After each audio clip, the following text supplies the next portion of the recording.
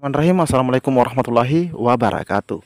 Di video kali ini admin kembali berbagi informasi buat rekan-rekan semua Terkait penyelesaian tenaga honorer Atau terkait rekrutmen CASN tahun 2024 nah, Jadi buat rekan-rekan semua yang lagi menonton video ini Silahkan disimak videonya dengan baik Jangan di skip agar tidak salah dalam memahami informasi yang admin bagikan.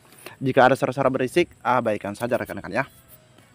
Oke kita lanjut saja ke info intinya Oke kita akan menyampaikan informasi dari Mempan RB Nah kita lihat di sini teman-teman ya. Eh, Pemerintah gelar desiminasi kebijakan pengadaan PNS tahun 2024 Nah ini adalah jenis kebutuhan pengadaan ASN PNS ya. ASN PNS tahun 2024 Nah teman-teman bisa lihat uh, terkait jenis kebutuhannya. Pertama di sini ada pengadaan pegawai negeri sipil, ada yang umum dan ada yang khusus. Dan adapun yang mendapatkan perlakuan khusus ada enam eh, kriteria atau kategori ya. Ada penyandang disabilitas, ada kum laut, ada diaspora, putra putri wilayah Papua, putra putri Kalimantan dan putra putri daerah tertinggal. Nah ini adalah enam kriteria atau kategori yang mendapatkan perlakuan khusus pada seleksi YSN tahun 2024 ini. Nah, selanjutnya kita bisa lihat di sini Kementerian Pendayagunaan Aparatur Negara dan Reformasi Birokrasi telah menerbitkan kebijakan terkait pengadaan aparatur sipil negara yang mana kebijakan ini dituangkan dalam peraturan Menteri Pan RB. Jadi kebijakannya itu ada di Permenpan RB nomor 6 tahun 2024 tentang pengadaan pegawai ASN. Dan menindaklanjuti terbitnya aturan ini, Kemenpan RB menggelar sosialisasi kebijakan pengadaan pegawai PNS tahun anggaran 24 secara daring, teman-teman ya. Nah, Menpan RB yaitu Bapak Abdullah Swaranas menyampaikan pengadaan ASN tahun 2024 dibuka untuk memenuhi PNS dan P3K. Uh, jelas ya, untuk PNS dan P3K. Pengadaan ASN dilaksanakan berdasarkan prinsip kompetitif, adil, objektif, transparan, bersih dari praktik korupsi, kolusi, dan nepotisme. Tidak dipungut biaya. Jadi ini juga yang perlu teman-teman ingat bahwa ini tidak ada biaya sama sekali. Prinsip-prinsip ini harus disampaikan ke seluruh calon pelamar ASN bahwa tidak ada pungutan biaya dalam pengadaan ASN. Jadi tidak ada istilah calo untuk meluluskan menjadi ASN. Anas pun meminta panitia instansi agar dengan seksama menyusun tata kelola dan mekanisme kerja panitia seleksi instansi pengadaan ASN agar rekrutmen eh, yang dilaksanakan bisa menghasilkan talenta-talenta terbaik dan mendorong kinerja pemerintahan. Artinya yang lolos itu memang adalah orang-orang yang memiliki kompetensi sesuai yang diharapkan. Mudah-mudahan pengadaan ASN ini dilakukan dengan seksama agar kita bisa mendapatkan pegawai ASN yang mampu menjadi perekat dan pemersatu bangsa, memiliki intelijensia yang tinggi untuk pengembangan kapasitas dan kinerja organisasi serta mampu mengakselerasi tugas dan fungsi organisasi. Nah, di sini diinformasikan kembali sejalan dengan terbitnya regulasi pengadaan ASN di mana Pak Abbas Subagja secara rinci memaparkan terkait kebijakan pengadaan PNS tahun anggaran 2022 yang mana kebijakan yang dimaksud tertuan dalam keputusan Menteri Pan RB nomor 320 tentang mekanisme pengadaan PNS dan 321 tentang nilai ambang batasnya. Nah, teman-teman bisa cek di video admin sebelumnya terkait nilai ambang batas ini ya. E, dengan judul 2 Permenpan RB yang baru rilis. Apa menyampaikan jenis kebutuhan pengada pada pengadaan PNS tahun 2024 terdiri atas kebutuhan umum dan khusus. Nah, di sini kembali kita e, bisa lihat jenis kebutuhan khusus di sini sama dengan yang tadi ada enam kriteria teman-teman ya. Bahkan di sini dirinci lagi terkait untuk uh, putra-putri daerah 3T ya ini ya, terdepan, terpencil dan tertinggal. Oke, lanjutnya dikatakan arah kebijakan pengadaan ASN fokus pada pelayanan dasar dan penyelesaian tenaga non ASN. Jadi fokusnya penyelesaian non ASN. Pemerintah juga mengurangi sedapat mungkin rekrutmen jabatan yang terdampak transformasi digital. Jadi ada memang jabatan-jabatan tertentu yang mungkin tidak bisa diisi sepenuhnya oleh eh, rekan-rekan eh, ya karena akan terdampak oleh digital. Yang paling penting adalah di instansi pusat talenta-talenta baru ini akan diarahkan ke IKN rekrutmen tahun ini diutamakan untuk merekrut talenta-talenta terbaik di IKN dalam mendukung tugas pemerintahan, pembangunan dan pelayanan publik. Nah, melalui kebijakan PNS tahun ini, P3K yang tertarik menjadi PNS diberikan kesempatan untuk melamar dalam rekrutmen CPNS apabila memenuhi syarat.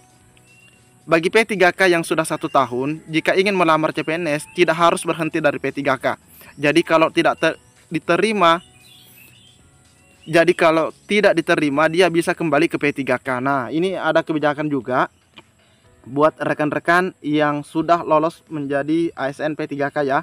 Nah, ini kita lihat di sini kita tandai. Bagi P3K yang sudah satu tahun, jika ingin melamar CPNS, tidak harus berhenti dari P3K. Maksudnya tidak mesti harus berhenti jadi ASN P3K, tidak perlu mengundurkan diri. Jadi kalau tidak diterima, dia bisa kembali ke P3K-nya. Wah, enak sekali ini teman-teman ya. ya jadi teman-teman ASN P3K yang mungkin punya formasi jabatan yang sesuai dengan kualifikasinya, ya mungkin bisa coba-coba teman-teman ya. Tidak ada salahnya jika memang ada minat untuk ke IKN. Nah, di sini kita bisa lihat alur perencanaan kebutuhan ASN. Nah, yang pertama adalah Kemenpan RB, surat permintaan usulan kebutuhan ASN Poin kedua adalah mengusulkan kebutuhan ASN melalui digital platform instansi pemerintah.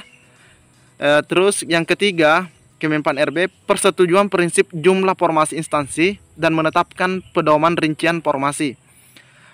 Keempat, ini di BKN mempersiapkan sarana dan prasarana pengusulan rincian formasi dan itu sudah dilalui teman-teman ya. Terus Pertek BKN validasi rincian formasi berdasarkan angka 3 eh, Pertek teman-teman ya persetujuan teknis dan Kemenkeu pendapat terkait anggaran rencana pengadaan ASN. Nah, untuk tahapan saat ini teman-teman bisa fokus ke sini di poin 8 dan 9 ini kita perbesar menetapkan formasi nasional dan rincian kebutuhan ASN. Jadi sekarang itu dalam proses penetapan formasi secara nasional atau se-Indonesia, terus Pertek BKN dan pendapat Menkeu. Di poin ke-9 kebijakan pengadaan ASN, terus penetapan kebutuhan ASN instansi. Setelah itu seleksi CASN. Nah, seperti itu teman-teman ya. Tahapannya. Oke, kita lihat lagi terkait teknis pelaksanaan seleksi pengadaan ASN 2024, Deputi Bidang Sistem Informasi Kepegawaian Badan Kepegawaian Negara Suharmin menyampaikan perlu kecermatan ketika panitia instansi menyusun petunjuk teknisnya dalam seleksi administrasi agar tidak ada pihak yang dirugikan. Nah, ini benar sekali. Ketika menyampaikan satu informasi terkait persyaratan, ini harus betul-betul detail supaya teman-teman itu betul-betul tahu dan paham bahwa ini yang dimaksud. Teman-teman ya, karena kadang-kadang itu sifatnya ambigu, kurang jelas, teman-teman ya. Masih banyak teman-teman yang bertanya ke sana kemari terkait administrasi atau dokumennya. Nah, selanjutnya, mohon berhati-hati betul agar tidak ada kasus orang yang seharusnya eligible ternyata tidak lulus administrasi. Maksudnya orang seharusnya lulus kok tidak diluluskan, jangan sampai ya. Maupun sebaliknya. Hal ini akan menjadi subjek sanggahan yang disampaikan calon peserta. Betul teman-teman ya. ya. Ini bisa menjadi subjek sanggahan.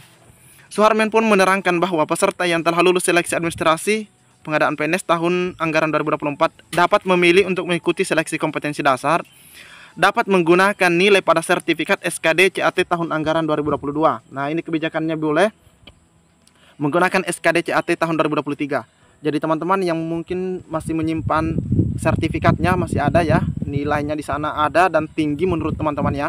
Jika dibandingkan dengan nilai ambang batas sekarang sudah masuk kategori aman, nah boleh digunakan tuh. Tapi kalau teman-teman ragu ya pilih mendaftar lagi teman-teman ya. Tes CAT lagi. Pada SSCSN 2000 uh, pada SSCSN untuk tahun 2024 nanti.